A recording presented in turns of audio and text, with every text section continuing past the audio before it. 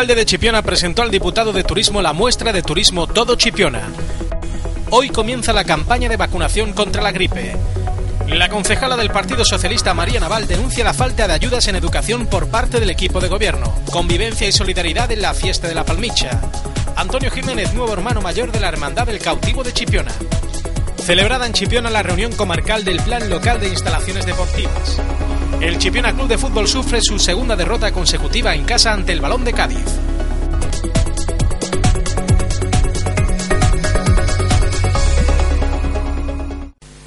El alcalde de Chipiona, Antonio Peña, acompañado de los concejales de Fiestas y Turismo, Davinia Valdés y Javier Díaz, visitaron la pasada semana en la Diputación al vicepresidente tercero de la misma y responsable del área de turismo, Alejandro Sánchez.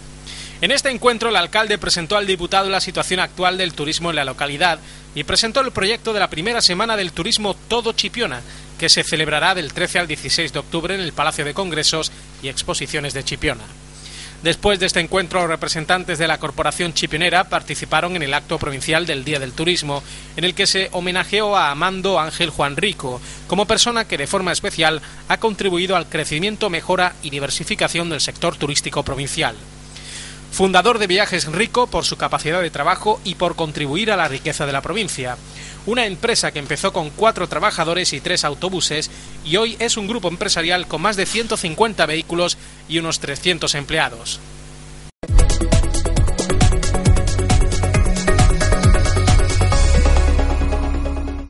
La consejera andaluza de salud María Jesús Montero ha instado a que los mayores de 65 años, embarazadas, enfermos crónicos y personal de servicios públicos, especialmente el sanitario, se vacunen contra la gripe a pesar de que esta temporada se prevé que sea benigna. El millón y medio de vacunas adquiridas este año por la sanidad pública andaluza han comenzado hoy a administrarse gratuitamente. La consejera de Salud recomienda consultar al servicio telefónico Salud Responde para agilizar la cita médica. Además, a través de este servicio se podrá incluso recibir asesoramiento y prescripción de medicamentos antigripales como paracetamol o ibuprofeno. La Consejería de Salud espera que la influencia de la gripe sea este año similar a la temporada pasada, en la que alcanzó una prevalencia de 1.695 casos acumulados por cada 100.000 habitantes, una de las más bajas de los últimos ejercicios. Como en el año pasado, el pico de máxima prevalencia de la gripe se prevé que se produzca en esta temporada en la segunda semana de enero de 2012, con un pronóstico de 240 casos por cada 100.000 habitantes. Pese a estas previsiones benignas, la Consejería de Salud recuerda la conveniencia de vacunarse contra la gripe, pues la vacuna es la única arma eficaz contra esta enfermedad, es gratuita y es bastante inocua en sus efectos secundarios. La vacunación permite evitar hasta un 70% de hospitalizaciones y un 80% de fallecimientos relacionados con complicaciones por la gripe en mayores de edad.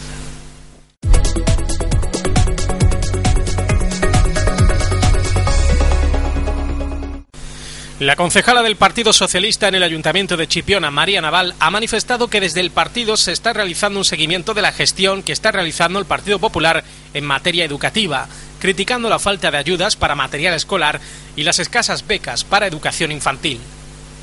Desde el Partido Socialista también estamos haciendo un seguimiento al área de educación, área que vemos que se prometía que se iba a innovar en ayuda, en gestión, en actividades y nos encontramos que la gestión es exactamente la misma y las ayudas, por el contrario, pues se han disminuido.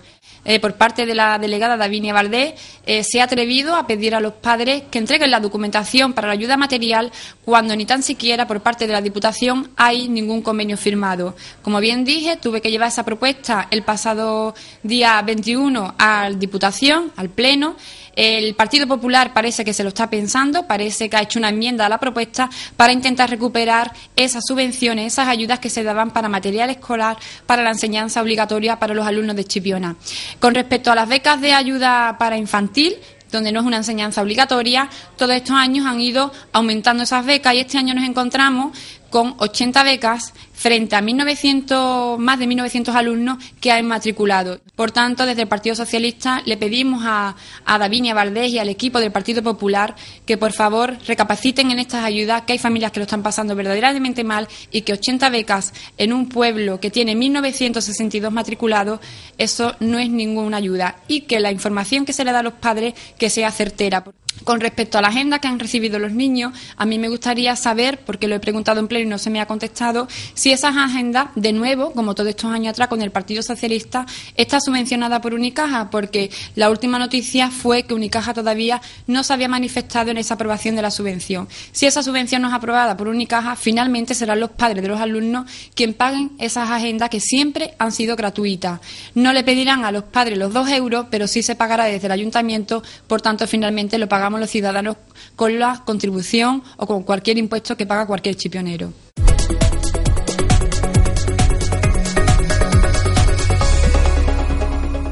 El pasado sábado fue elegido como nuevo hermano mayor de la Hermandad del Cautivo Antonio Jiménez Cortés, hasta ahora teniente de hermano mayor.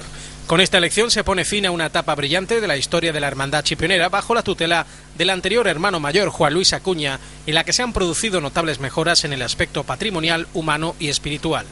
Antonio Jiménez es un destacado miembro de la Hermandad y de la Sociedad Chipionera, belenista de trato amable y se encargará además del ajuar de los titulares de esta hermandad.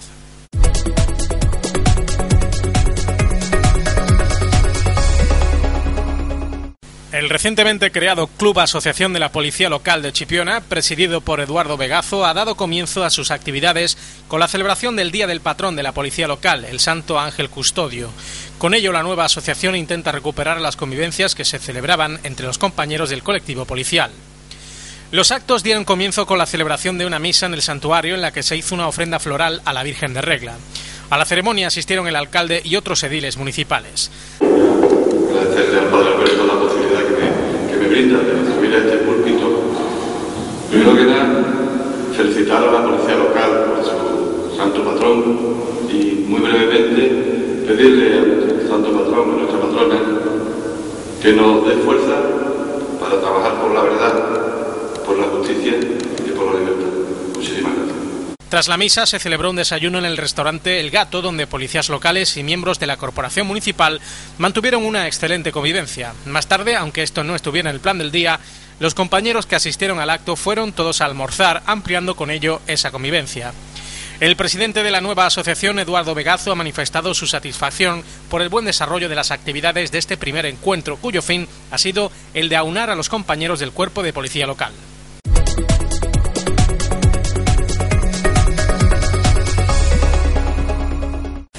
Hoy se ha celebrado en el Castillo de Chipiona una reunión comarcal sobre el PLID, Plan Local de Instalaciones Deportivas, en el que han participado el Servicio de Deportes de la Diputación Provincial, el Instituto para el Fomento del Deporte y las delegaciones de los ayuntamientos de la comarca, representados por sus concejales y técnicos. Por parte del ayuntamiento ha estado presente el segundo teniente de alcalde y el concejal de Deportes, Agustín Lorenzo.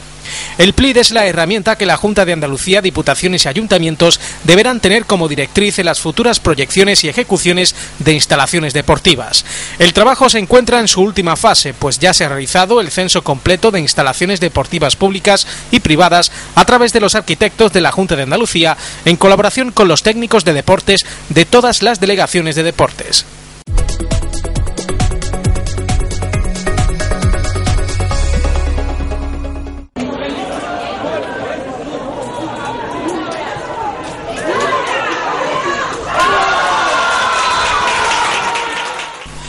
El Chipiona cosechó su segunda derrota consecutiva de la temporada. Tras un buen inicio, a los de Paco Mancilla se les fueron apagando las luces, justo tras el mazazo que supuso el 0-1 a la postre definitivo de Corral. Aunque en la segunda parte empeoraron las cosas al ser expulsado Salvi por doble amonestación, el Chipiona mereció al menos un punto por el empeño que puso con solo 10 jugadores y lo poco que demostró el balón más aún tras el penalti cometido sobre Adri, que Abraham acabó errando en los compases finales, y un balón que fue al larguero cuando el partido ya se acababa. En el equipo chipenero debutaba el portero Luis. Los azules ahora son decimoterceros y se desplazarán el próximo fin de semana a Almonte, que marcha con seis puntos en la clasificación, uno más que los de Mancilla. Pienso que el primer tiempo la pasión la nosotros, siempre llevamos control del juego, eh, le dimos mucha intensidad al partido ellos solamente se dedicaron a estar replegaditos, organizados y a, balones. Un equipo filial yo esperaba mucho más, ¿no? Pero bueno, la verdad es que las primeras ocasiones, Juan Bellado tuvo una, eh, Manu tuvo dos, David también se le fue una de cabeza. Yo pienso que en el primer tiempo aunque no estuvimos tan claros como en el segundo tiempo, tuvimos más espeso, pero bueno, tuvimos muchas ocasiones. En un trabajo de medio campo nos un punto de ser organizado y la primera vez que llegaron, la primera vez y la única, nos hicieron el gol.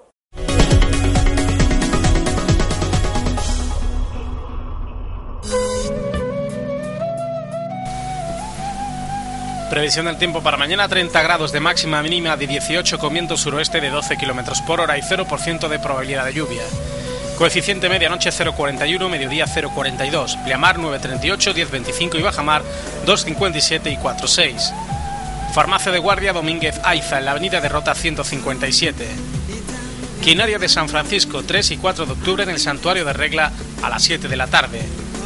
Concurso de fotografía de la Asociación de Familiares de Enfermos de Alzheimer. Entrega de obras hasta el 21 de octubre en el correo electrónico afafarochipiona.dinasa.es. Pago en periodo voluntario del recibo de agua del tercer trimestre de la zona 3, del 1 de octubre al 30 de noviembre. Talleres Mujer y Artesanía. Comienzo del curso el día 6 de octubre en el Centro de la Tercera Edad en horario de 9 y media a 1 y media y el día 7 de octubre en la sede de la Asociación de Mujeres Progresistas La Palmicha en horario de 10 a 12 y de 4 a 8 de la tarde. Las personas interesadas deben pasarse por la Delegación de Igualdad de la calle Larga 64, edificio Las Palmeras. Curso de técnicas de construcción de belenes se desarrollará del 3 al 14 de octubre de 8 a 10 de la noche en la Asociación de Belenistas, tras las naves Niño de Oro. Inscripciones en el teléfono.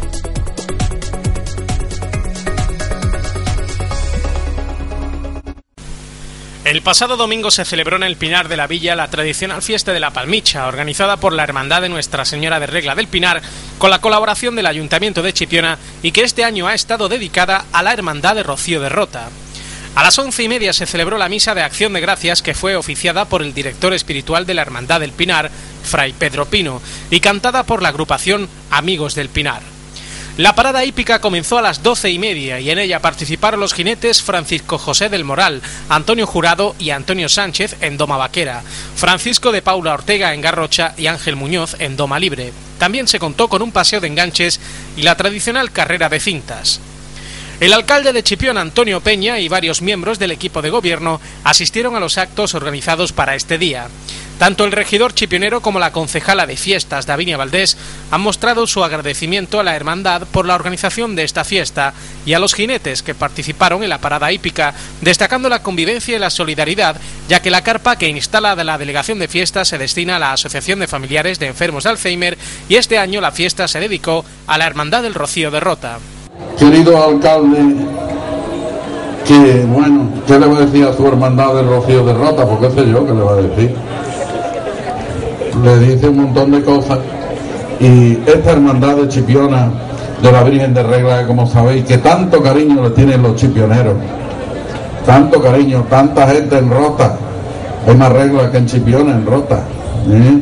Ese arco de la Virgen de Regla ese pedazo de imagen de la Virgen de Regla que inauguramos en septiembre, la última gran avenida de entrada de Rota por Chipiona, era la Virgen que le faltaba, la que ellos más querían.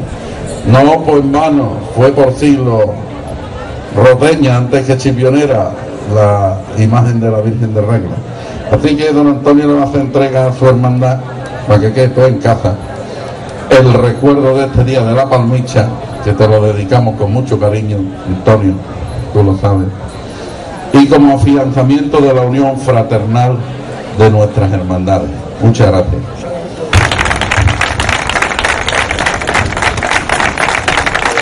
Soy persona muy allegada al pueblo de Siriana porque mis padres son de Siriana, mis hermanos son de Siriana. Para mí cuando se inauguró el, el monumento a la Virgen y Aquí el hermano mayor me dijo que este año iba a ser dedicado a la hermandad de Rota. Para mí era un reto, un orgullo y hoy está, culminado como tiene que ser, con alegría y con... Yo espero que sea un día bueno ¿no? y muchísimas gracias a todos ustedes.